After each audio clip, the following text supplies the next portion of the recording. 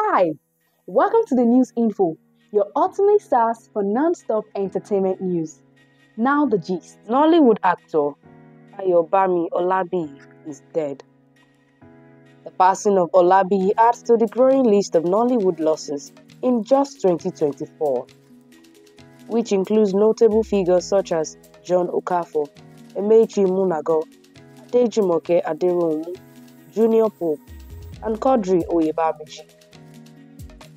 Ayobami Olabiyi, a respected figure in the Yoruba film industry, reportedly passed away in Ibadan, Oyo State, on Wednesday after battling an illness that required his admission to the University College Hospital, UCH.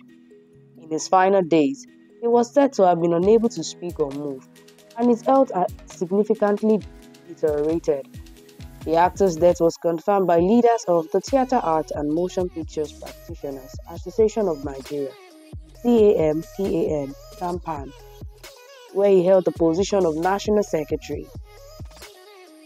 An aide to Tampan's Oyo State Governor, Bose Akinola, publicly announced his passing, stating, I have a directive from the Oyo State Tampan Governor, Her Excellency Yeye Bose Akinola, to announce the death of Tampan National General Secretary, Chief Alhaji Ayobami Olabiyi, popularly known as Bobo B. May God give his family and the entire Tampan members globally the fortitude to bear the loss. Amen. Was also reportedly scheduled to appear on the movie set in Oyo State in September, but his declining health and subsequent hospitalization prevented him from attending. Actor Ayobami Olabiyi served as the former governor of Tampan Oyo State. He transitioned into acting after 16 years as a teacher, retiring in 1993.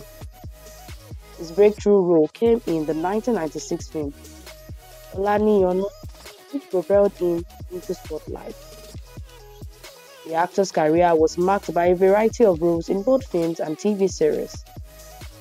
He made his mark with performances in Adaru Gudu 2020, where he played a general, and Ewa 2022, in which he portrayed Oba Adewumi, and he also appeared as Baba Dolapo in the popular film Alakada 2009. His acting includes earlier roles such as Dr. Lani Pekun in Aye Jopele 2004 and Policeman 2 in Agokan 2003.